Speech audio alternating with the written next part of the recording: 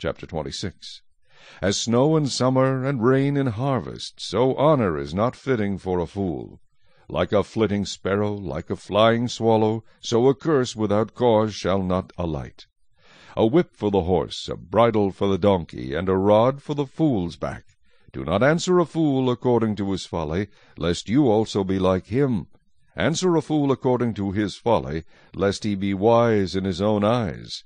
He who sends a message by the hand of a fool cuts off his own feet, and drinks violence. Like the legs of the lame that hang limp is a proverb in the mouth of fools. Like one who binds a stone in a sling is he who gives honor to a fool. Like a thorn that goes into the hand of a drunkard is a proverb in the mouth of fools. The great God who formed everything gives the fool his hire, and the transgressor his wages. As a dog returns to his own vomit, so a fool repeats his folly. Do you see a man wise in his own eyes?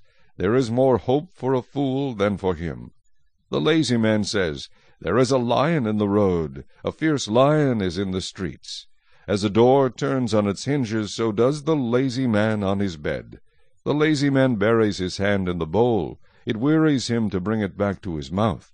The lazy man is wiser in his own eyes than seven men who can answer sensibly. He who passes by and meddles in a quarrel not his own is like one who takes a dog by the ears. Like a madman who throws firebrands, arrows, and death is the man who deceives his neighbor and says, I was only joking.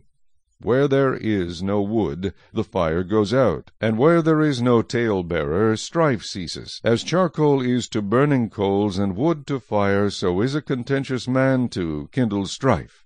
The words of a tale-bearer are like tasty trifles, and they go down into the inmost body. Fervent lips with a wicked heart are like earthenware covered with silver dross. He who hates disguises it with his lips, and lays up deceit within himself. When he speaks kindly, do not believe him, for there are seven abominations in his heart. Though his hatred is covered by deceit, his wickedness will be revealed before the assembly. Whoever digs a pit will fall into it, and he who rolls a stone will have it roll back on him. A lying tongue hates those who are crushed by it, and a flattering mouth works ruin.